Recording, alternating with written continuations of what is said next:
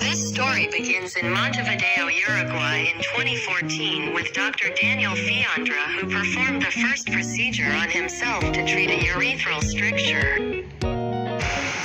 He convinced Dr. Zabayos, who was the first urologist to use this technique. And the first to teach, for that, thank you very much Dr. Javier Zabayos. First things first, which patients can benefit from this technique? The first indications were stenosis of the anterior urethra. But with its use benefits were seen and it extended to the posterior urethra and ureter.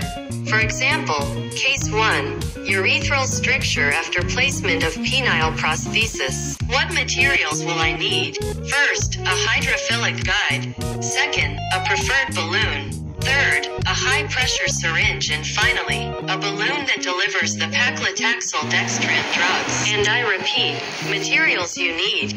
Guide wire, 0.018 by 260 centimeters hydrophilic covered, angle.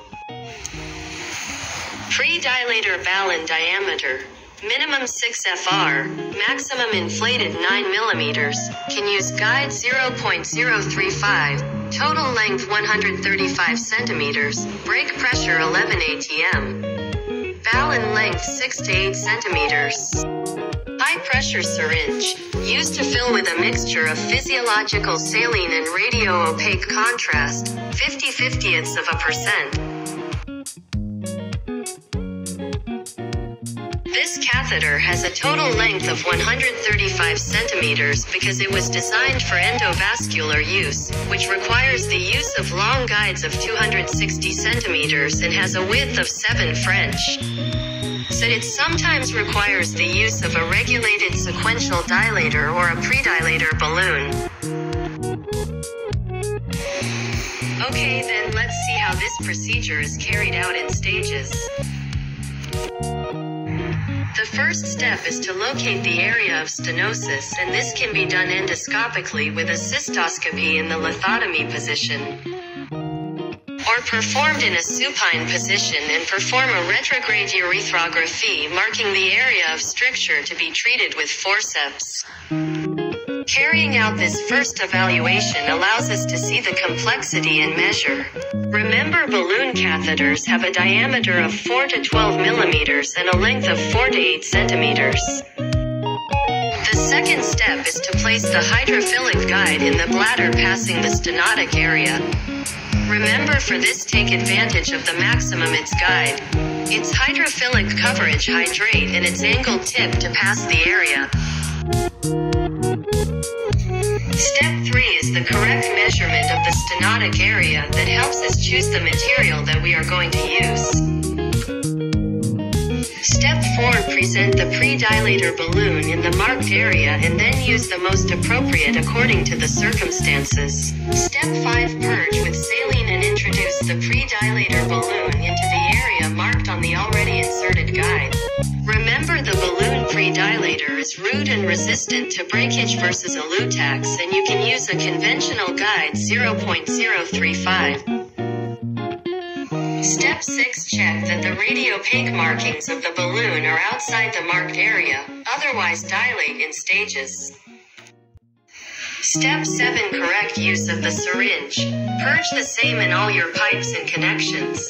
High pressure syringe. Used by filling with physiological serum mixture in opaque radio contrast, 50 50ths of a percent. Maximum pressure should not exceed 10 atm. At risk of balloon break, in some cases running this risk, you can reach up to 14 16 atm. We perform it in case of firm stenosis with the pre-dilator balloon, which Step 8. Filling of balloon and dilation of the area. It is evaluated with radioscopy, 10 atmospheres. In cases of incomplete dilation, it can reach up to 16 atmospheres. Step 8 Deflate balloon pre-dilator and remove it. Step 9 Introduce Elutax 3 paclitaxel dextran balloon and evaluate its correct location with radio opaque marks. The correct use of the balloon involves unpacking, removing protections, purging and using the guide through line 1 and inflation through line 2. Line 1. Remember you can only use long guides of 260 centimeters by 0.018. Remove the straightener from the distal end of the catheter. Purge line 1 and remove the drug shield from the distal end of the catheter. Present the Elutax balloon in the marked area and use more than one Elutax if the patient has multiple or long strictures that cannot be covered. Introduction of the balloon catheter with drugs through the 0.018 guide until the stenotic area, without touching the area impregnated with paclitaxel dextran. Step 9. We repeat all the steps that we used with the balloon pre-dilator and here we also check that the radiopaque markings of the balloon are outside the marked area. Purge the syringe. All your pipes and connections. Check a correct connection of the pipes and inflate at 10 atmospheres and we evaluate by fluoroscopy that it inflates correctly and in case of lack of good dilation in any sector, we first wait for the first 5 minutes to pass, which is the minimum delivery time of the drugs to the tissue and then we raise it. Pressure up to 12 or 14 atmospheres until reaching 7 to 10 minutes. He highlighted the minimum delivery time of the medication is 5 minutes at 10 atmospheres, but usually after this time we increase the pressure and wait 2 to 5 more minutes. To finish step 10 consists of disinflate and remove the balloon and perform a urethroplasty to finish the procedure and check a correct dilation and correct completion of the procedure. We usually do not use lidocaine gel and do not leave a urinary catheter to avoid interfering with the adhesion of the drug to the tissue. We emphasize that it is a simple, reproducible, low complexity and minimally invasive method.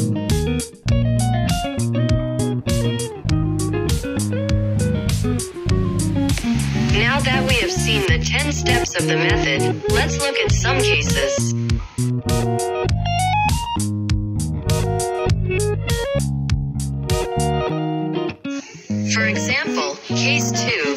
Urethral stricture after placement of a catheter to control diuresis. It was conducted in Hospital de Clínicos Buenos Aires, urethral section, Argentina. Had an suprapubic probe and a urethra fee where we see the stenosis was performed in decubito supino without endoscopic progress was made from rendezvous type suprapubic access. Then a back-dried urograph was performed where we evaluated the stenotic area and we set it with tweezers and we measure it. 0.018 hydrophilic guide is placed through a suprapubic approach and exits through the urethra, rendezvous. The rectifier is removed from the catheter. Dilator balloon is applied in stages to the area to be treated. Catheter cover is removed and the guide is introduced through line 1, ascending to the area to be treated. Pre-dilator balloon is applied in stages to the area to be treated.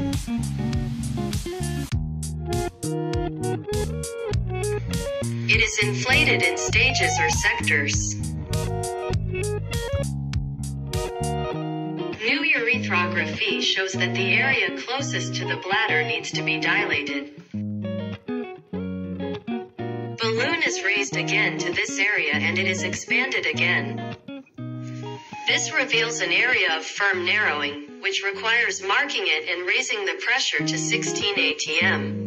An alternative to this method for firm stenosis is sequential dilators or cutting balloon or endoscopic cutting with holmium laser.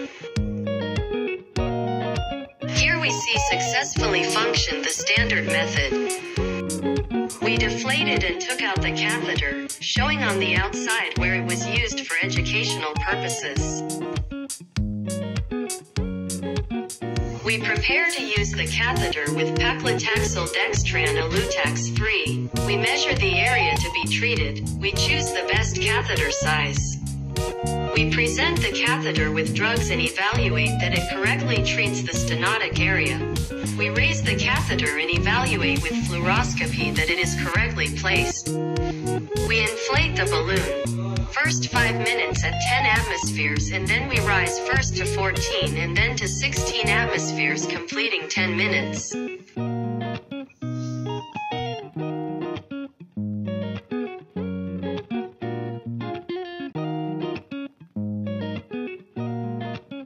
For the appropriate time, at least 5 and usually 10 minutes. We deflate and remove the catheter. New urethroplasty now shows well dilated area and with this the procedure ends.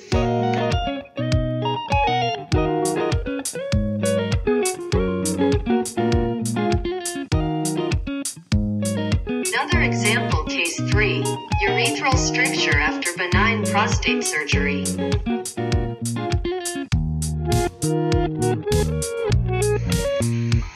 In Buenos Aires on the other side of the river, we continue learning from our dear brothers the Uruguayans, Charrúas.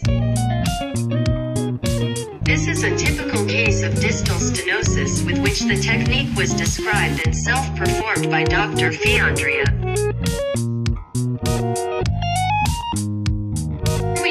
The posterior urethra correctly unobstructed post-surgery. Guide placement and then applies balloon pre-dilator in area to be treated with the standard method described previously and sequentially paclitaxel dextran releasing balloon is applied. To finish we perform a retrograde urethroplasty where we can see correct dilation of the stenotic area. I emphasize a quick procedure, 30 minutes of surgical time, simple, reproducible, minimally invasive. Case 4. Rear urethral stricture, lodge, post-TURP endoscopic approach, patient in position of lithotomy. Initial urethroplasty does not clearly define stenosis. Endoscopic access is carried out to define and mark area to be treated.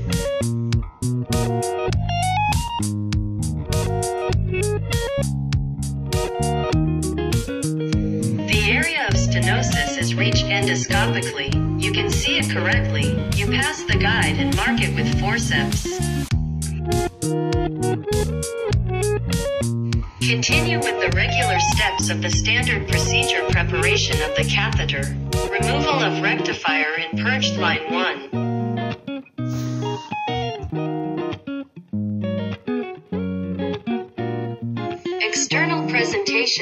Catheter about the area marked to be treated filling and purged from high pressure syringe with diluted 50-50 contrast after purge and correct connection of line 2. In soft balloon 10 atmospheres by 5 minutes and up to 14 atmospheres in complete 10 minutes. Out the standard procedure with all the regulated steps, not innovating at least at the beginning when the operator is learning helps not to skip important steps and for everything to go better.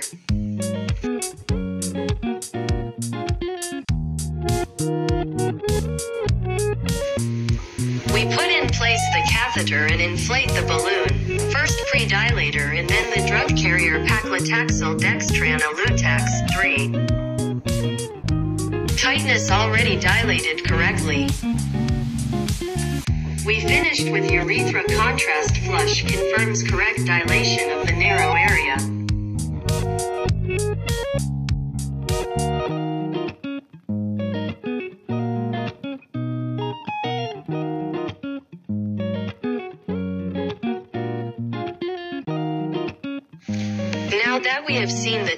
steps of the method, you will have realized that it is an easy and reproducible method and above all a very good start as a minimally invasive tool. The initial series of balloon urethroplasty by Dr. Zabios and collaborators report a success rate close to 72% with follow-ups of up to 5 years. So we think it is a very good alternative versus internal urethrotomy via endoscopic with a success of 50% or open reconstructive surgeries that we would leave for eventual failures with this new technique. Let's look at some cases. We performed the first cases all in the lithotomy position and endoscopic evaluation, but as we improved our technique and saw how it is usually performed in Uruguay with Dr. Zabios' team, we changed to a technique without endoscopy and greater radioscopic guidance, leaving the lithotomy position and adopting the supine position. To finish, I want to thank you for paying attention and having patience these 15 minutes, and I want you to take as a message to take home that this procedure is useful, regulated, reproducible, minimally invasive, with low level of complexity, which main indications are in any area stenosis of urethral as well as any area of the ureter, which more prospective. Randomized and controlled studies are required, but it looks like a very good initial approach.